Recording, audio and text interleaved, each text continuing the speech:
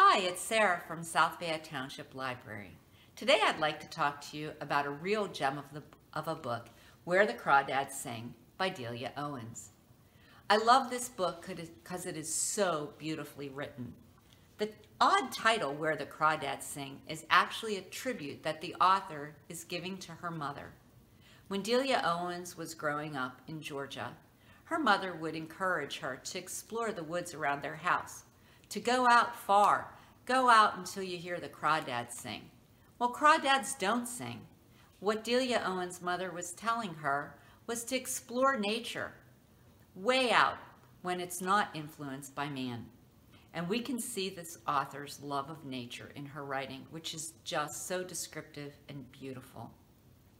The setting of this book takes place in the marshes of North Carolina and you can really visualize what these marshes are like and the life forms that live there on the marsh.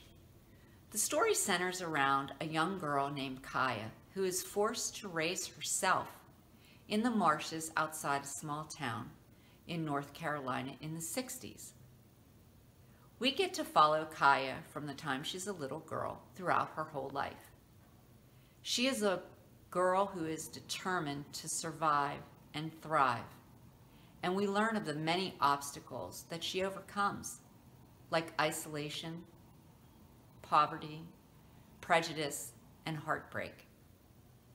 When her former boyfriend, Chase Andrews, is found dead at the bottom of a fire tower, the townspeople and law enforcement suspect Kya, who they call the Marsh Girl, and she becomes the prime suspect in his murder. I really think you're going to enjoy this book. It is so beautifully written. I can't say that enough.